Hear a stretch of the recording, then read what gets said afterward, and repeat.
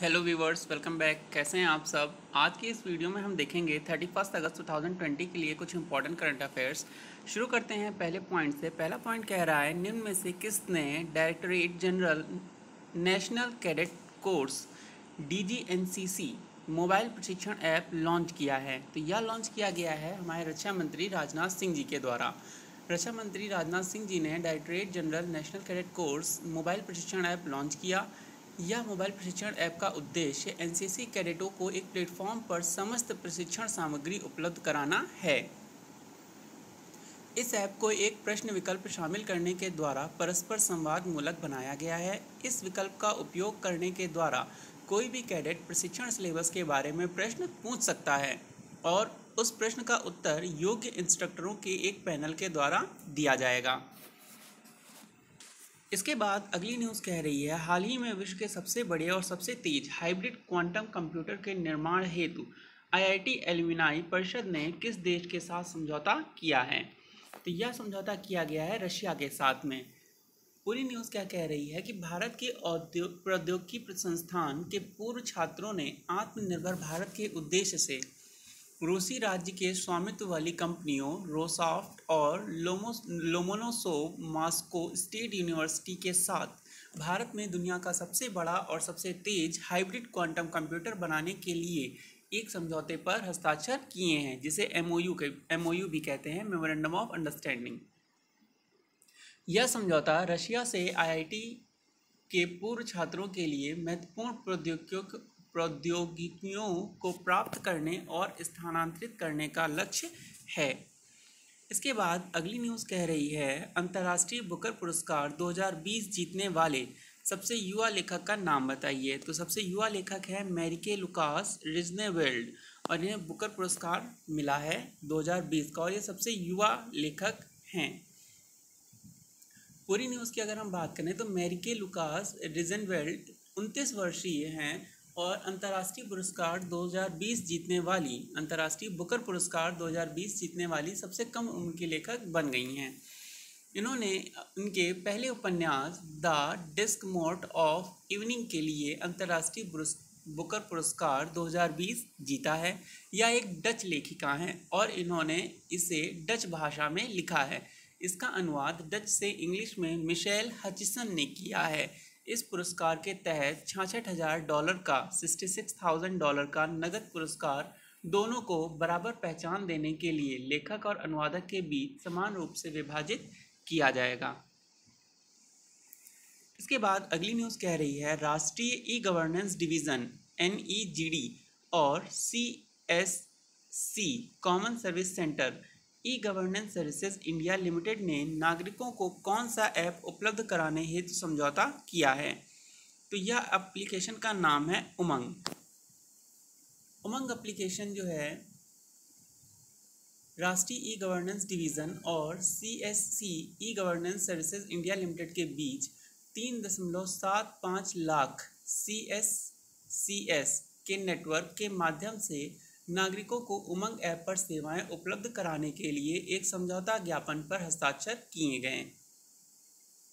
CSC operators ग्रामीण स्तर के उद्यमी V L E Umang app के माध्यम से नागरिकों को 140 विभागों की ई गवर्नेंस सेवाओं का लाभ उठाने के लिए नागरिकों को सक्षम बनाएँगे।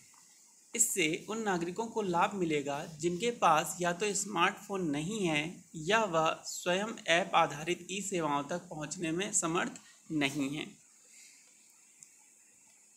इसके बाद अगली न्यूज़ हमारी कह रही है, केंद्रीय सड़क मंत्री श्री नितिन गडकरी ने किस राज्य के लिए 45 राजमार्ग परियोजनाओं का उद्घाटन और शिलान्यास किया? तो यह 25 अगस्त को शिलान्यास किया गया है, माननीय नितिन गडकरी जी के द्वारा और यह ग्यारह हज़ार चार सौ सत्ताईस करोड़ की लागत से लगभग तेरह सौ इकसठ किलोमीटर लंबी कुल पैंतालीस सड़क परियोजनाओं का शिलान्यास है। इससे पिछड़े क्षेत्रों सहित पूरे मध्य प्रदेश के विकास में मदद मिलेगी। अगली न्यूज़ हमारी कह रही है, किस बैंक ने भारत के युवाओं के लिए लिबर्टी सेविंग्स अकाउंट सेवा का शुरुआत किया है? तो यह सेवा की शुरुआत की गई है एक्सिस बैंक के द्वारा। एक्सिस बैंक ने भारत के युवाओं के लिए लिबर्टी सेविंग्स अकाउंट सेवा की शुरुआत की है। यह युवाओं और डिजिटल इच्छुक भारतीयों की बदलती जीवन शैली की ज़रूरतों को पूरा करने के लिए शुरू किया गया है। यह प्रतिवर्ष बीस हज़ार रुपये के अस्पताल नगद बीमा कवर को प्रदान करता है, जो कोविड नाइन्टीन के तहत किए गए अस्पताल के खर्चों को कवर करेगा। महामारी को कवर करने के लिए अपनी तरह का पहला बचत खाता है। यह खाता 35 वर्ष से कम आयु के श्रमिक वर्ग की जीवन शैली की आवश्यकताओं को पूरा करने के लक्ष्य के साथ शुरू किया गया है। साथ ही साथ लिबर्टी सेविंग्स अकाउंट की विशेषताएँ अगर हम बात करें तो ये मिनिमम बैलेंस या ग्राहकों को प्रति माह पच्चीस हज़ार रुपये का न्यूनतम बैलेंस बनाए रखने या लिबर्टी डेबिट कार्ड या बचत खाते में नेट बैंकिंग एक्सेस मोबाइल या यूपीआई के माध्यम से जीवन शैली की ज़रूरतों पर हर महीने उतनी ही राशि खर्च करने की अनुमति देता है।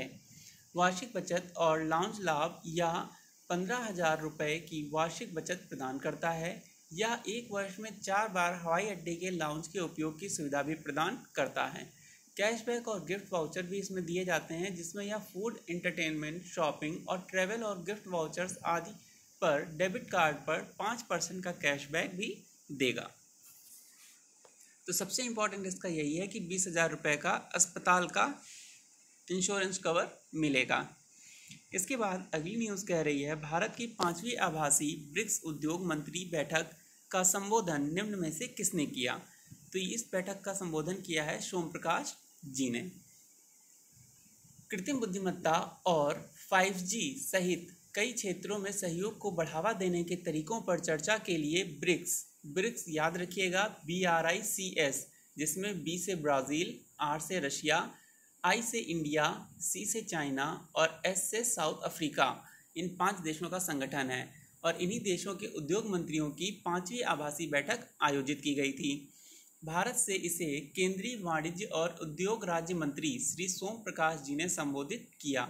ब्रिक्स ब्रिक्स देशों के बीच कृत्रिम बुद्धिमत्ता 5G और औद्योगिक इंटरनेट जैसे क्षेत्रों में सहयोग बढ़ाने के तरीकों पर चर्चा की गई।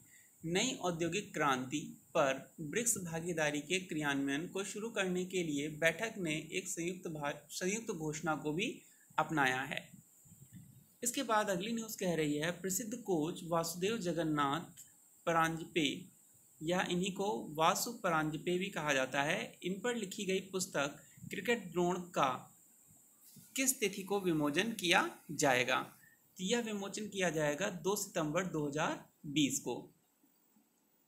वासु परांजपे जी पर लिखी गई पुस्तक क्रिकेट द्रोण का 2 सितंबर 2020 को विमोचन किया जाएगा। यह पुस्तक इनके बेटे और वर्तमान राष्ट्रीय चयनकर्ता जतिन परांजपे के साथ मिलकर क्रिकेट पत्रकार आनंद वासु द्वारा लिखी गई है। तो याद रखिएगा, इनके बेटे और आनंद वासु जी के द्वारा यह लिखी गई है और इसे पेंगुइन द्वारा प्रकाशित किया जा रहा है।